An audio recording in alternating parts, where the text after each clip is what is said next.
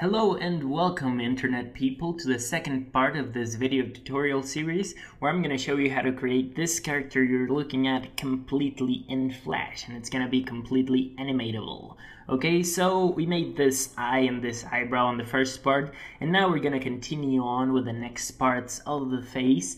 The next part obviously we're going to make the other eye and the other brow which is going to be pretty simple. Just select everything you have on the uh, right now on the screen, which is the eye and the pupil and the eyebrow, and just hit copy on your keyboard and we're just gonna paste it right in there. That's pretty simple and that looks a bit weird, but we're gonna modify it a little bit. Just select everything again, hit modify and go to transform and flip horizontally okay and there's a hotkey for that so you're gonna you're uh, I recommend you learn the hotkey so you have to go modify transform flip horizontally.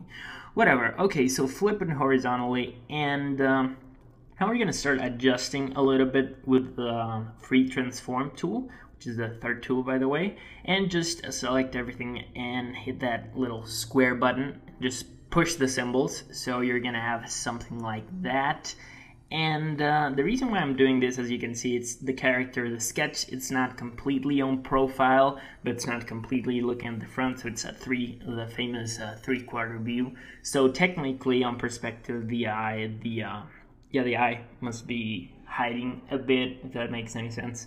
So that's why we're pushing it a little bit, so you can modify it more if you want. So yeah, as you can see, since we made everything separate, we can move the eyebrow, you know, everything separate. So we give it a little bit of asymmetry.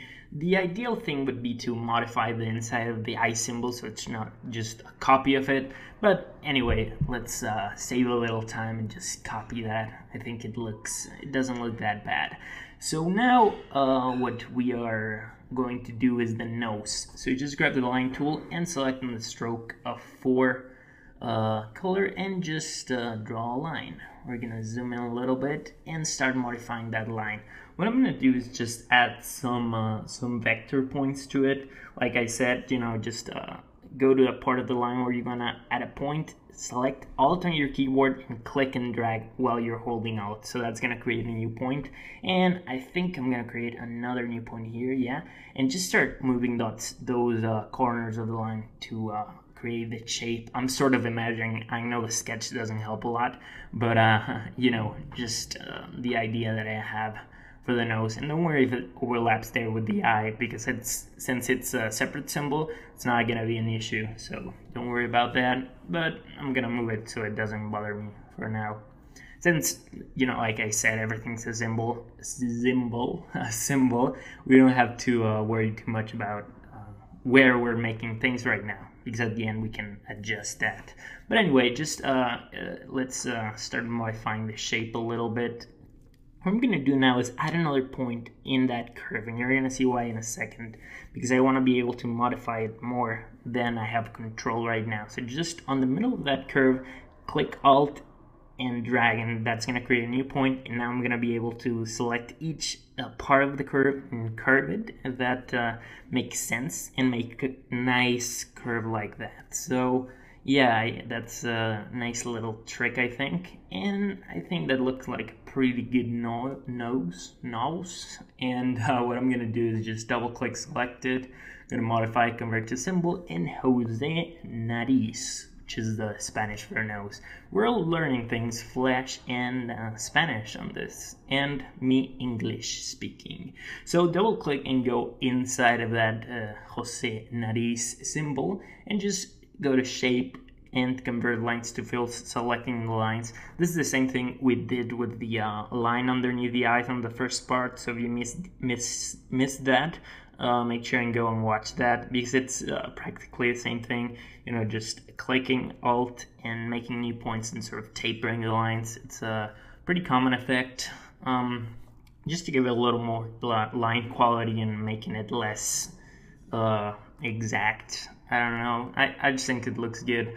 Now with the line tool, what I'm gonna do is um, a very common thing as well with uh, flash animations where I just make a line, you know, that crosses the both points of the nose, and just with a bucket tool. This is actually the color uh, we're gonna use for the skin. I already have it, so we don't lose lose time uh, selecting a color. But if you want to save a color, you know, select a color. By the way, if you want to open that, go to Window and uh, and Color. Oh, I missed that. It's just uh, selecting and clicking Add Swatch. If you missed that, just uh, rewind that part. Sorry about that.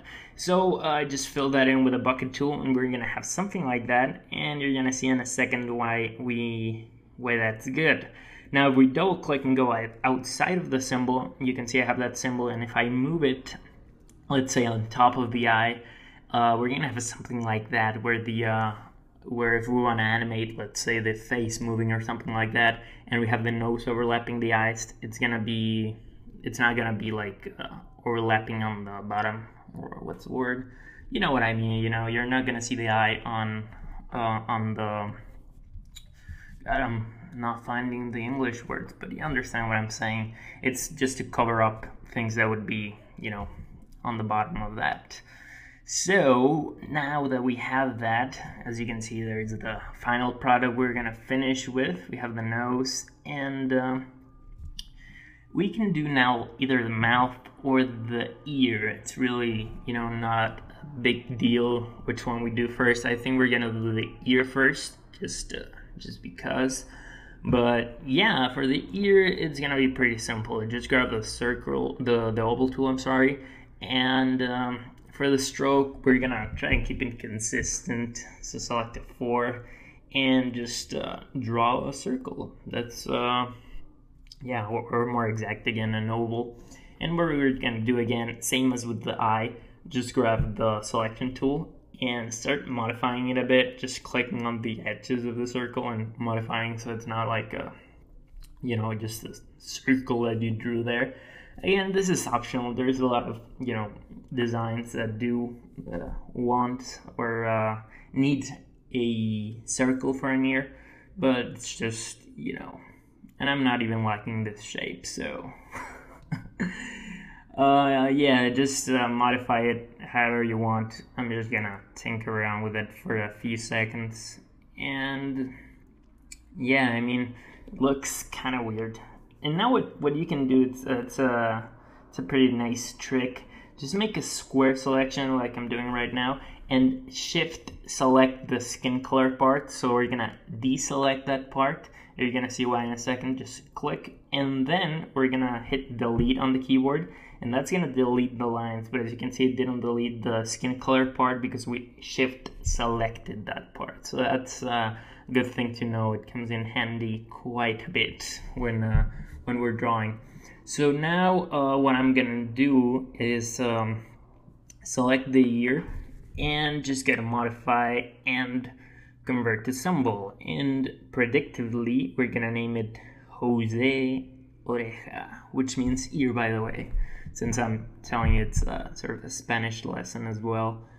Um, yeah, so it's Jose Oreja, which means ear, and let's hit OK to make it a symbol. Now to modify it, just double click and go inside that symbol. And as you can see, it's sort of a little pattern I do where I half complete things and I make it to a symbol and then I double click and go inside.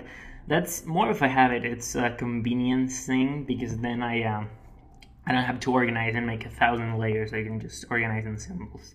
But anyway, um, what I'm doing here is just creating a new layer inside the ear symbol and just uh, making a new line with a, with a smaller stroke, which is not gonna be as thick because I'm making the details on the ear. And just uh, same thing we've done before, which is uh, clicking with Alt to make uh, new points and just clicking and dragging on the line to, uh, to have uh, this sort of shapes. And I'm not um, gonna tinker around that much. You know, this uh, these uh, details can take forever if you uh, let them.